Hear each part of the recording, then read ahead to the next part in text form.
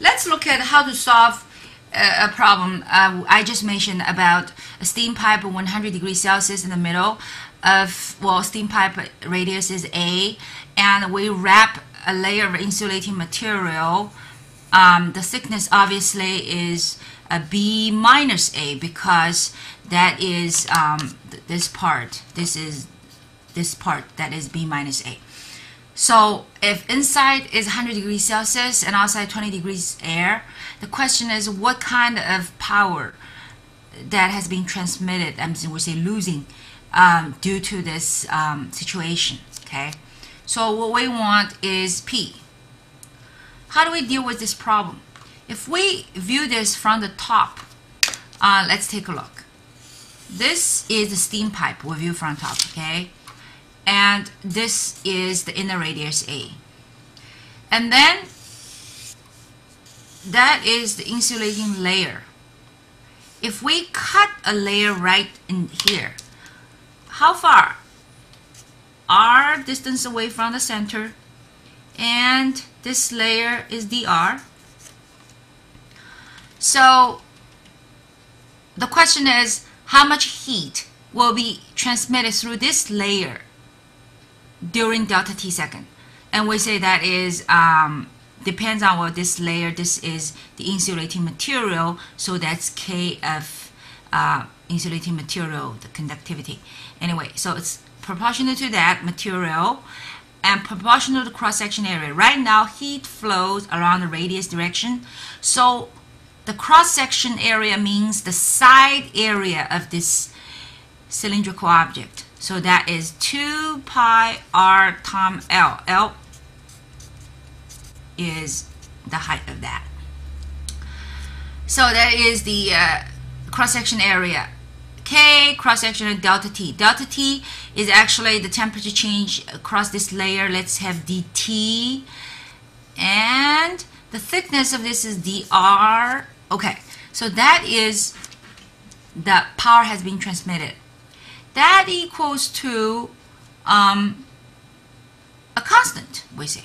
Why? Because as I explained, once the temperature gradient established, T is a function of R, every one second, the power past each layer must be same. How much past the first layer must pass second layer? No heat will be built up at any layer. So it's constant. So in this case, we're going to um, as a matter of fact, rearrange everything. Now, if you look at this, constant, constant, constant, constant. So, if we reverse this, we have dr over r. How do we get that? Reciprocal. And the other side will have this equals to dr over r. The other side, if we mathematically do this, this is R over the dr initially. The other side initially has a P, but we're going to throw this constant, which is 2 pi and L and the K and also dt, everybody, to the other side. We get that. So for reciprocal have d over r, that will give us that dt on the top that will be 2 pi k l d t n over p. It's like that. So since these are constants, and if we do the integral from a to b, then the temperature at A is T of steam. Temperature at B is T of the room. So we get natural log that natural log b minus natural log a is this equals to 2 pi k l p of temperature T of room minus T of that steam. Now I want to mention this. Temperature room is less than temperature steam. This is a negative term. But everything else looks like positive. Why? Because B is more than A. This is a positive. So, as a matter of fact, do you remember at the very beginning, actually we have something like um, P equals to that Ka of absolute value dt over dx. So if we want to get rid of this absolute value, actually it's negative Ka dt over dx. Why is that? Because if dx direction is our dr direction, if it's positive, and dt drops, that is negative. So we need to add a negative sign. So we need to add a negative sign here. Then it will balance left and right. So this gives us of p equals to, if we want a p, that will be, if we put this negative sign into here, then we have 2 pi k L, which is T steam minus T room, and natural log B over A. So look at this. Steam, this is a, a room temperature. The difference, well, if we talk about different, doesn't matter with Celsius or Kelvin, it's the same. So if everything, we have to look for the units for this conductivity. If SI unit, then we here we use Kelvin, and this is length, uh, this is meter, and K is given in certain units because K has to balance the equation, and so we can find, if we fill in this and then we can find the power that lost due to the temperature difference. There's one more question we can ask, actually it's very interesting that if we want to cut the power into half, how much percent of the insulating layer that we have to increase? Okay, here's the P we got. If we want to decrease P to half, what does that mean? Now we have a new P, which is half of, we cut 50% power loss, the original. So it requires well the same kind of insulating material, the same we'll talk about same length of that pipe.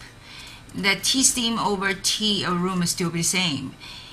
Only something is the new B because the pipe steam pipe size A is still the same. It is the B value. So it is quite easy to do that because um, what we do is uh, we just it's one half p we just need to plug in this p as that and as you can see everything will cancel because you see if we have one half original p is 2 pi k l ts over t room and this is original b over a equals to that is the original power loss. When we cut the one half is the new one. The new one has the same wrapping material and length and inside outside temperature but just has a new B. So everything cancels. This cancel, that cancel. So what we have is, um, as a matter of fact, this 2 is down there. So it's like 2 the original b over a equals to the new b over a and that actually is this equals to that right and so this gives us if b over a equals to b over a of square. So the new b equals to 1 of a cancels and that will give us the old b square over a. And that is a lot the new b because it's the old b squared divided by a. And we can fill in the number. For example let's have a case. A equal to 5 cm for example. B equals to uh, 10 cm let's say the steam pipe radius is 5 we wrap layer thickness is 5 and now if we plug in that it is 10 square over 5 so the 100 divided by 5 that's 20 so this tells us the new layer now is 15 centimeters. Why? Because look A is the radius of steam pipe originally the B is 10 centimeters the difference B minus A is the thickness of the wrapping material, that is 5 cm. Now the new B minus steam pipe is still same size, come out 15 cm, which means the thickness of the layer that we wrap around the steam pipe has to be 15 centimeters. So we have to triple the thickness in order to cut the power loss by 50%. Let's look at one more problem. If ice layer form um, on the surface of a pond, and uh, let's say initially this is thickness of the ice is already for being formed. The air has a temperature negative 10 degrees Celsius, very cold, and underneath the ice, the temperature of the water is zero, so it's the water is ready to freeze. Let's assume that this layer of dy is going to uh, freeze. Okay, so what happened is the heat actually is sneaking out this way because zero degrees water freeze, release heat, and will pass. This is a higher temperature. This is a lower temperature. Okay, so according to what we learned, that is uh, K. K is ice because that is the conducting layer. That's that. Um, a is the size of the ice that is arbitrary. And we have this the change of temperature. In this case, uh, dt, if we use dt and dx, if we use that one, this is a case actually pretty clear cut. One side is um, zero, the other side negative 10 degrees Celsius. So we can actually use that K is A of delta T over. Now the thickness, actually we better just name, mm, this is Y. This layer is just Y. like that. So this is a power transmitted. How? By a layer of dy freezing. So that is latent heat of fusion time cross-section area time dy that A time dy give volume. Volume, we must time density. This density of water because H2O. Um, this is mass. Mass time radiation fusion, that is the heat release. That equals to I mean, divided by the time dt. So by freezing dy layer of water, it takes dt second. This is how much heat is transferred. Now in this case, let's look at it. If we define going down is positive, say, then dy is positive. But the other side, let's take a look delta T, you have to make sure delta T is positive. So we have to use that high temperature minus low temperature. Okay. So in this case, if we ask this question, originally, if we already have four centimeters ice layer, now how long does it take to get another four centimeters? So the final is 8.0 cm. That means we have, we double the thickness of the ice. We ask for how long does it take. So we want the time. Well, it's pretty simple. Let's take a look.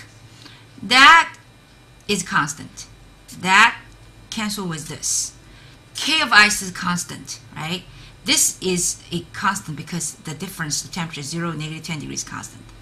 So latent heat of fusion is constant. So it's only between dy and y dt, but be very careful. This layer dy is about water because we talk about water freeze. But that y is the initial y of ice. So this is ice. y of ice and y of water is different because when water freeze, the same amount of dy of water will expand. So we have to be very careful. There is a fact of the density of ice and density of water. So if we want to get the time, dt, we move dt to the other side. Everything else we combine. If dt go to the other side, we have L latent heat of fusion. It get is gone. Density of H2O.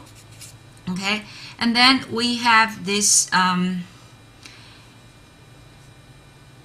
Y of ice comes along, and the K of ice goes here and delta t goes here and we have this dy right here. So it looks like if we want the total time we just do the summation and summation. Y start from of y initial to y final. So the only problem now is we have to convert because this is ice, this is water. So dy of water over dy of ice, what do you think? It expands, right? So that is density of ice. It expands. So the thick, like this is thicker. So that's density of water. That there is something like that then you can convert this dy. This dy is actually dy of water. Then you can convert to dy of ice. Then we can do the integral. So that's initial of ice thickness, final of ice thickness, and we can find the total T, which is from here. Very interesting. Now the other two kinds of heat transfer, one is called convection, the other is called radiation. Convection defines the energy transferred by the movement of a warm substance. For example, that if we um, heat um, a bottle of water, let's say we have a keto, put on a hot plate. Uh, when we warm up the bottom layer of water, it expand and get less dense. It will just flow to the top, cause a circulation, and the cold water will sink to the bottom and continues. So this is called convection because right now heat or say energy transferred by the movement of a warm substance. Now, the movement of warm substance indicating the movement of material. Same thing about um, air. Warm air rise. So if we warm up the cold air and air expand, density get less and it floats and then it rise to the top and cold air sink and this cause convection that actually the movement will feel the motion of the air that is wind. So that is convection. Another kind of uh, heat transfer is called radiation. That for example if we sit next to a fireplace and burning some wood and we will feel warm and we get the heat reached our body by through radiation and say, for example, if that fireplace has a temperature of T, and then the power being radiated is proportional to the surface area and also depends on the type of the source. This E is called emissivity. And for a ideal absorber, what is it? It's a black body, which means every incident of energy on this object it will absorb as a whole thing. Nothing reflect, that's called ideal absorber. Nothing reflect from optical point of view. Nothing goes back to your eye. You don't see anything that's black. That's called black. That's why I call black body. Black body. Wait, black body equal to one. A ideal reflector, which means it reflects 100% of what incident point on the surface that E equal to zero. So if we talk about a black body, that E will be 1. So sometimes the, most of the source E is between 0 and 1 and this sigma is a constant. So basically it says the power transmitted is proportional to the temperature to the force. That is called Stefan's law. And the heat has been transferred in the way of we call electromagnetic waves. And this part of electromagnetic heat, if electromagnetic waves in the heat range, that is infrared. So that is the third way of heat transfer. That is uh, radiation.